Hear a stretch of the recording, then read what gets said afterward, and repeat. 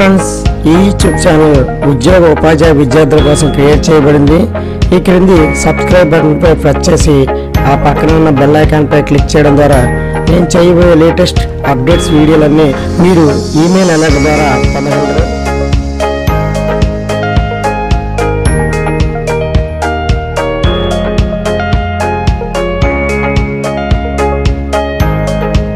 Friends welcome to our YouTube channel నా పేరు Veerava Venkateswara government of Andhra Pradesh social welfare department Amaravati నుండి welfare and educational assistant in village secretariat general recruitment notification అనేది release కావడం జరిగింది. Notification number ఒకటి by రెండు వేల పంతొమ్మిది డేటెడ్ ఇరవై ఆరు ఏడు రెండు వేల పంతొమ్మిదిన ఈ నోటిఫికేషన్ అనేది జారీ చేయడం జరిగింది. ఈ వీడియోలో ఈ నోటిఫికేషన్ సంబంధించి నోటిఫికేషన్ అర్హతలు పరీక్షా విధానం సిలబస్ ఏజ్ రిలాక్సేషన్ నిబంధనలు డిస్కస్ చేయబడుతుంది.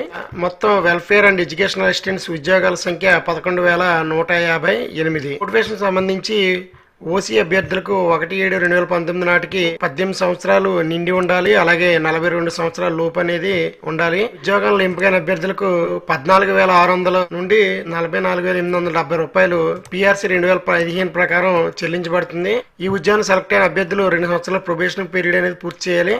వారికి నెలకి పదిహేను వేల రూపాయలు అనేది ఈ రెండు సంవత్సరాల కాలంలో చెల్లించబడుతుంది. అండ్ ఎడ్యుకేషనల్ అసిస్టెంట్స్ సంబంధించి జిల్లా వైజ్గా ఖాళీల సంఖ్య చూసుకున్నట్లయితే శ్రీకాకుళం ఎనిమిది వందల ముప్పై ఐదు విజయనగరం ఆరు వందల అరవై నాలుగు విశాఖపట్నం ఏడు వందల ముప్పై తొమ్మిది ఈస్ట్ గోదావరి పన్నెండు వందల డెబ్బై ఒకటి వెస్ట్ గోదావరి తొమ్మిది వందల ముప్పై ఎనిమిది కృష్ణూరు ఎనిమిది డెబ్బై రెండు ప్రకాశం ఎనిమిది ఎనభై నాలుగు నెల్లూరు ఆరు వందల అరవై ఐదు చిత్తూరు వెయ్యి ముప్పై ఐదు అనంతపురం ఎనిమిది వందల తొంభై ఆరు కర్నూలు ఎనిమిది వందల ఎనభై ఒకటి వైఎస్ఆర్ కడప ఆరు వందల ముప్పై మూడు మొత్తం పదకొండు వేల నూట యాభై ఎనిమిది పోస్టులు అనేది భర్తీ చేయబడుతుంది.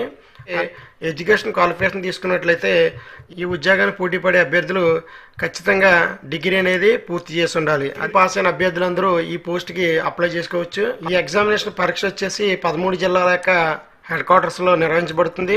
ఏజ్ వచ్చేసి ఒకటి ఏడు రెండు వేల పంతొమ్మిది నాటికి ఓసీ అభ్యర్థులకు పద్దెనిమిది సంవత్సరాలు నిండి ఉండాలి అలాగే నలభై రెండు సంవత్సరాలు మించకుండా ఉండాలి.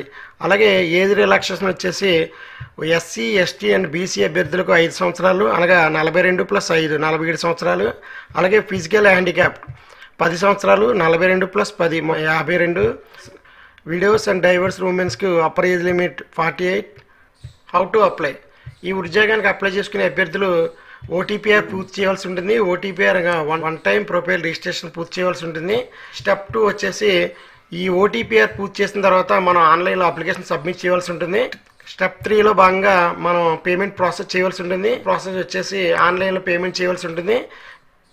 ఎగ్జామ్ ఫీజు చూసినట్లయితే ఓసీ అభ్యర్థులు అప్లికేషన్ ఫీజు రెండు వందలు ఎగ్జామినేషన్ ఫీజు రెండు వందలు మొత్తం నాలుగు వందలు చెల్లించవలసి ఉంటుంది. లోకల్ డిస్టిక్లో కాకుండా నాన్ లోకల్ అప్లై చేస్తున్నట్లయితే రెండు ప్లస్ రెండు ప్లస్ వంద మొత్తం నాన్ లోకల్ ఓసీ అభ్యర్థులు ఐదు వందల రూపాయలు చెల్లించవలసి ఉంటుంది. SC ST BC PHC ex service man అభ్యర్థులు రెండు కేవలం రెండు వందల రూపాయలు మాత్రమే ఎగ్జామినేషన్ ఫీజు అనేది చెల్లించవలసి ఉంటుంది. మోడ్ ఆఫ్ పేమెంట్ పరీక్ష ఫీజు అనేది అభ్యర్థులు ఆన్లైన్లో చెల్లించవలసి ఉంటుంది. నెట్ బ్యాంకింగ్ అలాగే ఇంటర్నెట్ బ్యాంకింగ్ ద్వారా చెల్లించవలసి ఉంటుంది. Scheme of examination. Examination syllabus అనేది ఎన్ఎక్జర్ టూలో ఇవ్వడం జరిగింది. ఎన్ఎక్జర్ టూలో ఎగ్జామినేషన్ ప్యాటర్న్ అనేది ఇవ్వడం జరిగింది. మొత్తం నూట యాభై మార్కులకి ఎగ్జామ్ అనేది నిర్వహించబడుతుంది. పార్టీ ఏ డెబ్బై ఐదు మార్కులు పార్టీ బి డెబ్బై ఐదు మార్కులు. పార్టీ ఏ వచ్చేసి డెబ్బై ఐదు ప్రశ్నలు ఉంటాయి. అలాగే డెబ్బై ఐదు నిమిషాలు కేటాయిస్తారు. అలాగే డెబ్బై ఐదు మార్కులు. పార్ట్ బి వచ్చేసి డెబ్బై ఐదు ప్రశ్నలు. డెబ్బై ఐదు నిమిషాలు డెబ్బై ఐదు మార్కులు.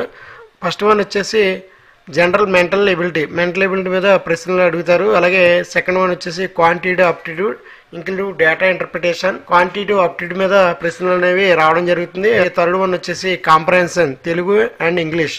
మనకి కాంప్రహెన్షన్లో తెలుగు అండ్ ఇంగ్లీష్ మీద ప్రశ్నలు అనేవి రావడం జరుగుతుంది. ఫోర్త్ వన్ వచ్చేసి జనరల్ ఇంగ్లీష్.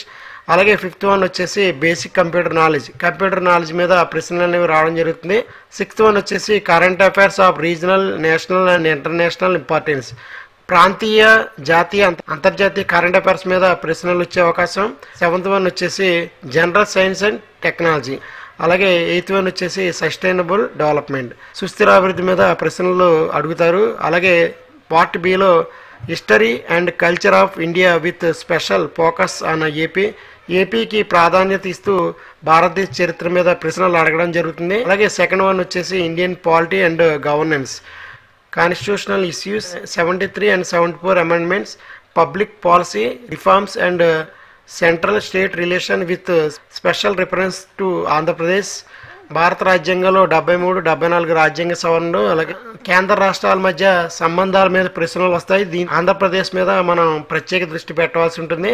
అలాగే థర్డ్ వన్ వచ్చేసి economy and planning India with emphasis on Andhra Pradesh. ఆంధ్రప్రదేశ్కు ప్రాధాన్యత ఇస్తూ భారతదేశ ఆర్థిక వ్యవస్థ మీద ప్రశ్నలు వస్తాయి.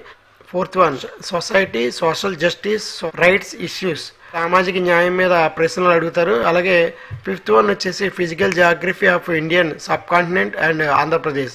Andhra Pradesh మరియు భారత ఉపఖండ జాగ్రఫీ మీద ప్రశ్నలు అడుగుతారు. అలాగే బైఫర్కేషన్ ఆఫ్ ఆంధ్రప్రదేశ్. ఆంధ్రప్రదేశ్ విభజన మీద ప్రశ్నలు అడుగుతారు. సెవెంత్ వన్ ఈ welfare and development schemes of government of Andhra Pradesh. ప్రస్తుతం ఆంధ్రప్రదేశ్ అమలు చేస్తున్న సామాజిక సంక్షేమ కార్యక్రమాలపై ప్రశ్నలు వస్తాయి. దీంట్లో భాగంగా నవరాత్రుల మీద అభ్యర్థులు ఎక్కువ ఫోకస్ చేయవలసి ఉంటుంది. Women empowerment and economic development. మహిళా సాధికారిత మరియు ఈ సెల్ఫ్ హెల్ప్ గ్రూపులు డ్వాక్రా సంఘాల మీద ఫోకస్ చేయవలసి ఉంటుంది. మొత్తం నూట యాభై ప్రశ్నలు నూట యాభై నిమిషాలు నూట యాభై మార్కులు. మనకి నోట్ అని ఇవ్వడం జరిగింది. Each wrong answer will carry zero point two five negative mark. Negative mark అనేది ఇవ్వడం జరిగింది. ప్రతి నాలుగు ప్రశ్నలకు అప్పుగా ఆన్సర్ చేసినట్లయితే ఒక మార్క్ అనేది కోల్పోవడం జరుగుతుంది. Last one annexure two B. దీంట్లో బ్రేకప్ ఆఫ్ వేకెన్సీ పొజిషన్ జిల్లాలో పోస్టులను రిజర్వేషన్ కేటగిరీలో విభజించడం జరిగింది. ఏ అభ్యర్థికి ఏ ఏ కేటగిరీలో పోస్టులు అనేవి ఇక్కడ చూసుకోవడం ద్వారా తెలుసుకోవచ్చు. అభ్యర్థులు ఈ యొక్క టేబుల్ని ఫాలో కావాలని కోరుకుంటున్నాను ఫ్రెండ్స్ ఈ వీడియో కనుక మీకు నచ్చినట్లయితే మరింత మందికి చేరడానికి లైక్ చేయండి షేర్ చేయండి కామెంట్ చేయండి. అలాగే మీ అభిప్రాయాలు సూచనలు కామెంట్ బాక్స్లో కామెంట్ రూపాయలు తెలియజేయాలని కోరుకుంటూ మిత్రులందరికీ ధన్యవాదాలు సెలవు థ్యాంక్ యూ